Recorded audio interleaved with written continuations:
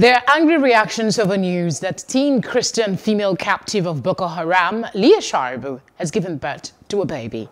And President Muhammadu Buhari, in reaction to repeated attacks by bandits in Niger State and its environs, has directed the Nigerian Air Force to deploy its fighter aircraft to check the menace. This is Plus Politics, and I am Felicity Ezewuike.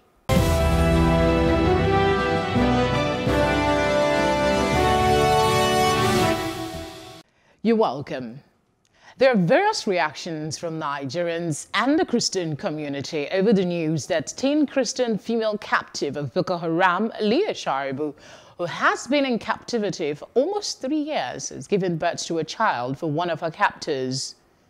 She was 14 at the time of her capture and the only remaining Dapchi schoolgirl from the over 100 abducted girls still being held hostage. Her father is not interested in what he describes as rumors. All he wants is to see his daughter returned alive. Is there hope that this will indeed happen? Joining us for a conversation on this are two public affairs analysts. We start with Jide Benson. Thank you very much for coming on the program. Thank you for having me. And of course, we have Leonard Edute, public affairs analyst as well. Pleasure to have your company tonight. Great, great to be with you, Felicity. All right. Um, the rumors seems to have gotten credence from the fact that journalist uh, Ahmed Salkida, who um, over the years has shown to have some connection with the Boko Haram group, um, is confirming that she indeed had a baby.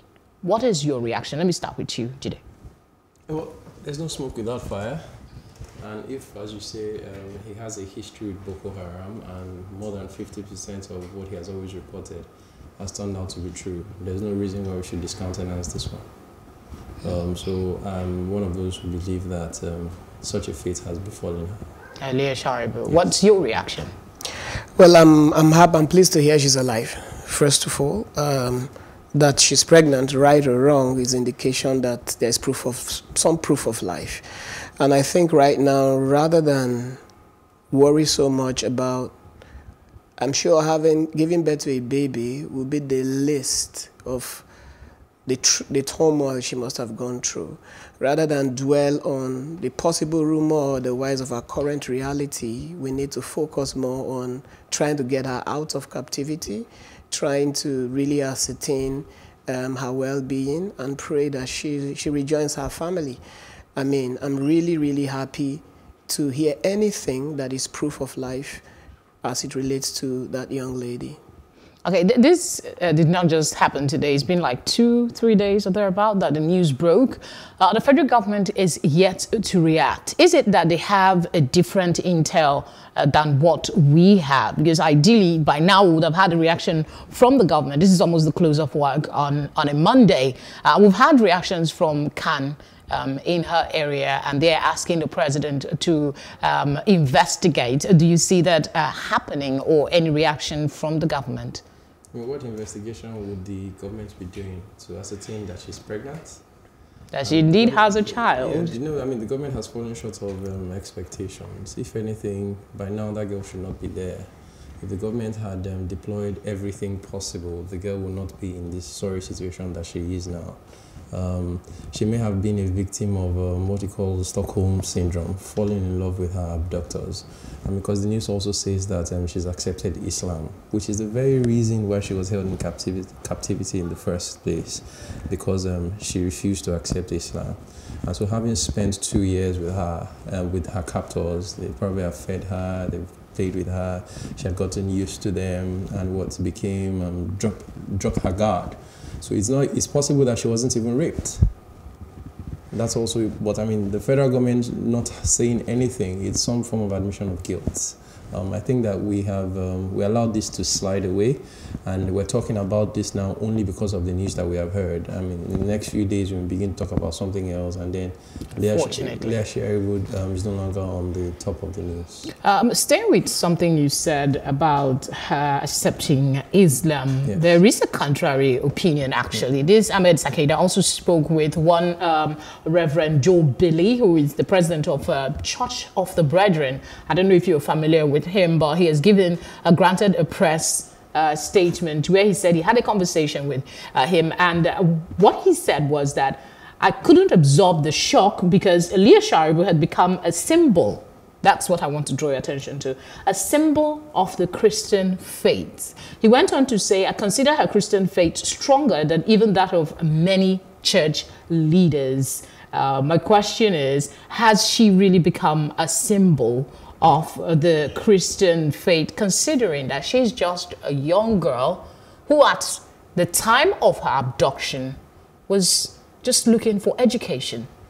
Okay, so um, a few things to note here. While I celebrate any news of our well being in any form or shape, um, we have to make a few things clear. She is a captive.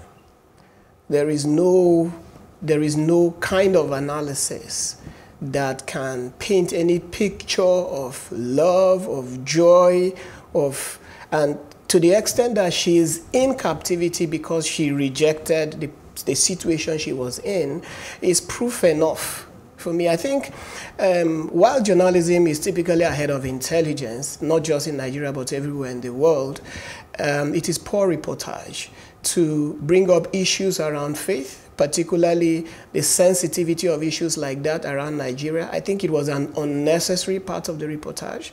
I think it didn't make sense. We're all worried only for the little girl's safety. And to talk of our acceptance of the reason for her captivity in the first place is really, really poor reportage. That's poor journalism. I think it's insensitive journalism. But, but, but, but, but you, so, you have so, to, what the job of reporting yes. is, is to report what has happened, not yes. to garnish so what, it in any way. So, the reportage was that she was held back because of her fate. Mm. And that has you know, snowballed into her becoming some sort of symbol. Like this reverend is saying that he was shocked that he had to ask again and, and again. And that's why I query the logic, logic of it, because she is still held. If she was held for her faith and she is still held, the, the rule of logic is that she has still held to her faith. That's the rule of logic. So she has not been released. So the, the, the, the, log, the logic is very clear to me. If we agree that she's held for her faith and she's still in captivity, then we must allow the logic flow through. That means so, you, you, you, so, you follow the school of thought that she is now a symbol of the Christian faith in Nigeria I, as it is. I, I follow the, the, the, the, school of thought that this is hardly a Christian Muslim issue. This is, she's a symbol of the height of insecurity in this country. She is a reason for the government to know that we are citizens, first of all, not Christians or Muslims, and that they owe us citizenship responsibilities that has absolutely nothing to do with faith. And so the less Christian or Muslim we go about this, the closer we are to the reality of the situation we are in, and the closer we are to the remedial actions we need to take. What's your take on that?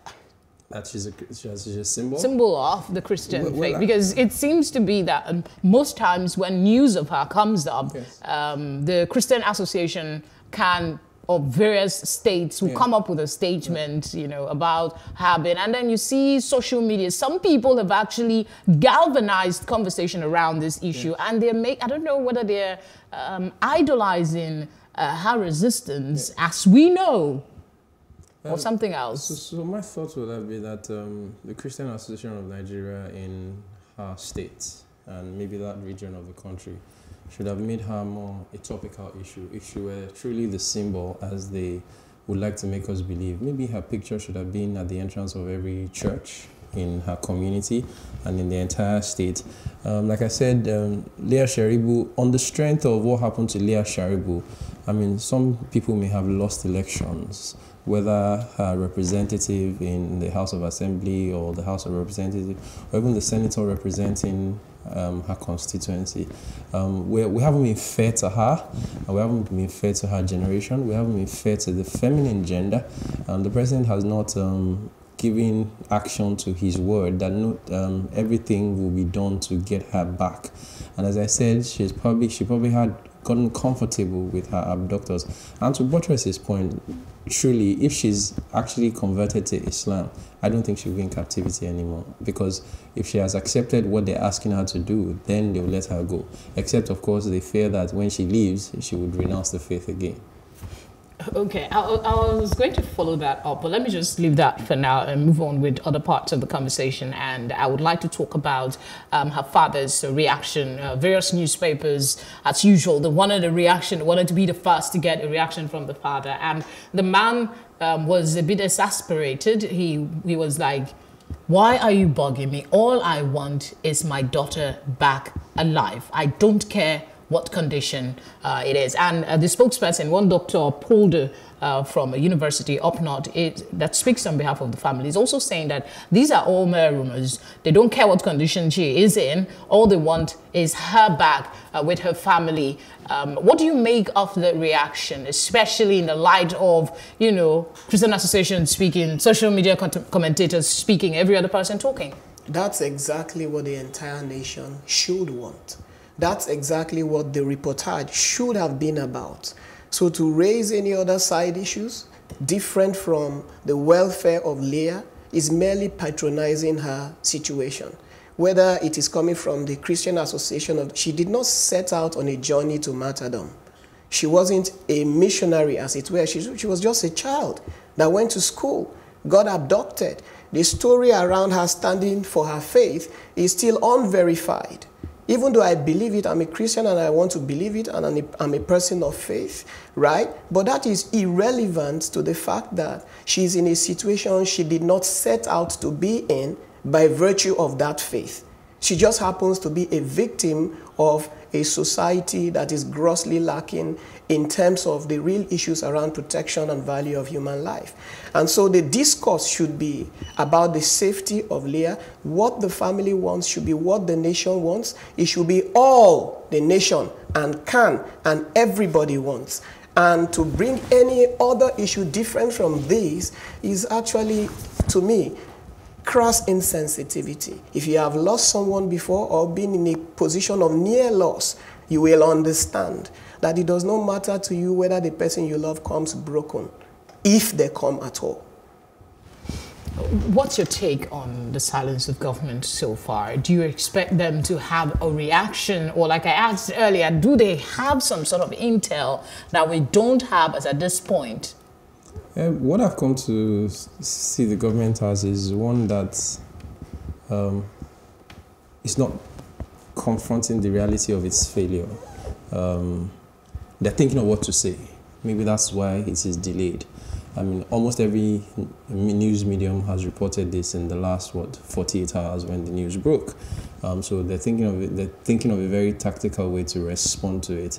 Uh, we've come to a situation whereby um, when the spokespersons of the government speak, you can tell that they're speaking from their lips. They're not speaking from their hearts. They're speaking to retain their jobs, to protect their principle, to look good in the eyes of the public.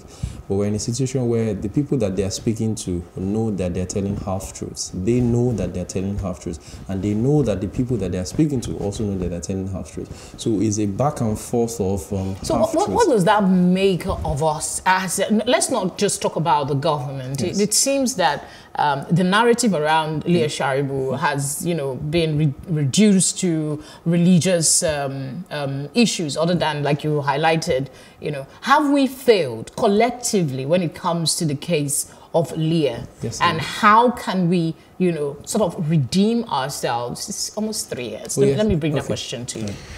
So when you generalize um, you know, reactions, then you seem, you seem to bury good intentions in the average. Okay, so, so, most times the really strong voices of reason are really silent ones.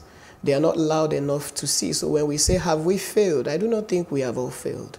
A lot of people invested their prayers, invested their time, protests here and there. Some left their jobs to pursue Leah Sharibu's cause, and they saw Leah Sharibu as a representative of every other person who, by virtue of societal failures, have been victims. But, but you will agree like that it, most times the yes. conversation around, around uh, Leah Sharibu uh, hits the media when a topical uh, situation occurs. Maybe yes. it's her birthday or the anniversary uh, of the number of days she's been in captivity, mm. or like now that she has had a baby. What about sustained effort? Because if um, um, um, you, you're talking about the narrative in the media, how the media, yes, we have our responsibility, but there doesn't seem to be a sustained reaction when it comes to, I mean, push advocacy for her release. That would do no justice to people who may not be in the media, may not be in the intelligence community,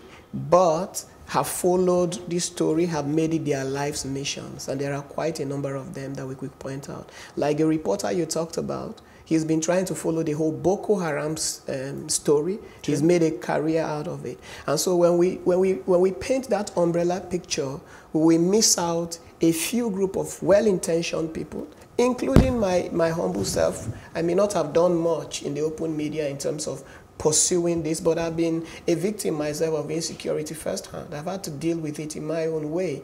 And so I kind of understand that there are quite enough, like the family and all that, they only come on stage when you put them on stage. But I tell you, every single night in their dreams, in their efforts, their involvement is, you, you, can, you can call it guaranteed. And above all, the communities from which that are primary targets of these kinds of issues right? They sleep and live this reality on a daily basis. For them, it's much bigger than Leah Sharibu. So Leah Sharibu is just an outlet for others to lend a voice to a discussion that is the everyday reality of a wide group of people in Borno State and northern Nigeria. Will this girl ever get released, do you think? Or will she continue to remain the idolized version that she's now being made of? Oh, um, never say never. And at the same time, I think we should moderate our hope. I mean, if we, if we follow what happened um, in I think it was in Adamawa State last week. Uh, the the pastor that was um, arrested, uh, that was kidnapped, abducted, and they were just trying to make arrangements to get the ransom paid so that he be released. And eventually, they still went ahead to kill him. So um, we don't know the mind of the terrorists. We don't know if they have a heart or a conscience. So, but one hopes that the government will not allow it to degenerate into that, because I mean there are instances in other climes where one life has held the whole nation's attention. This is what Leah Sharibu should have represented. I mean, Nigeria is a multi-religious state, so everybody has a freedom to practice their religion as they deem fit. So somebody being held on account of faith is not something that any government should tolerate. Yes, we're all culpable. We're all responsible for having carried on with our respective lives in spite of one of us being held hostage. But the culpability rests primarily with the government because the security of lives and property is the primary responsibility of the government. I must say thank you very much, gentlemen, you. for your thoughts so thank far. You. Thank you for coming on the program. All right, we'll take a short break now, and when we return, the conversation will be about the president's order to deploy fighter jets to wipe out a bandit. Still on security. Stay with us.